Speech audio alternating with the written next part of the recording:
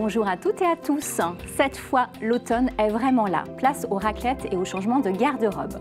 Mardi 17 octobre, les passages nuageux sont présents et épais pour ce début de matinée, avec un thermomètre qui démarre à 13 degrés du côté de Montaigu, la Châtaigneraie et Fontenay-le-Comte, et de 15 à 16 degrés sur le littoral.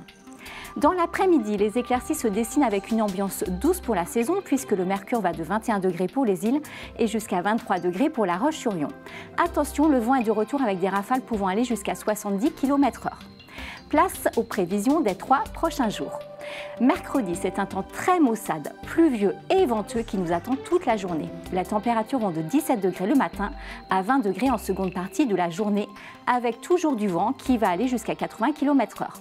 Jeudi 19 octobre, pardon, le ciel est triste avec des précipitations sur tout le département. Le thermomètre affiche de 15 degrés au réveil et de 18 degrés dans l'après-midi.